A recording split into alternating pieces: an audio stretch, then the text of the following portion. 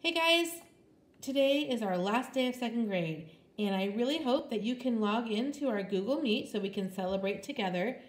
We are going to have fun. We're going to play bingo and charades. And remember, you can wear your pajamas or a crazy hat or wear both.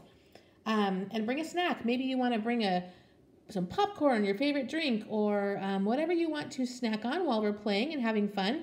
Hope to see you there. Log in, guys, 10 o'clock.